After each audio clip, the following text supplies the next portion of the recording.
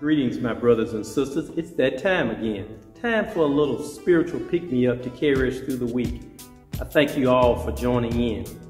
As I reflect back over the recent events in the last three years, I'm reminded of how the affairs of the world have greatly impacted our everyday lives.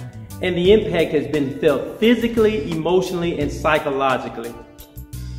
The uh, after effects have caused us to view the world often through a negative lens.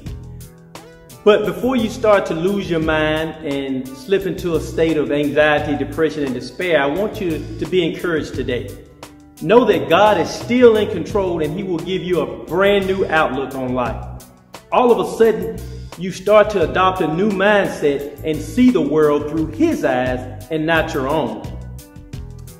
It was God's greatest spokesman, the Apostle Paul, in Philippians 2 and 5, when he said these words Let this mind be in you, which was also in Christ Jesus.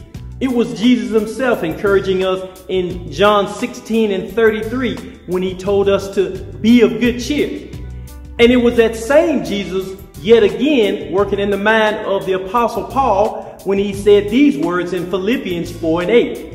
Finally, brethren, whatsoever things are true, whatsoever things are honest, whatsoever things are just, whatsoever things are pure, whatsoever things are lovely, whatsoever things are of good report, if there be any virtue and if there be any praise, think on these things.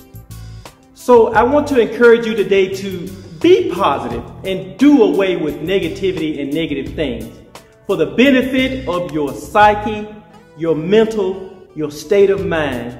Remember, God wants us to focus only on those things which are positive.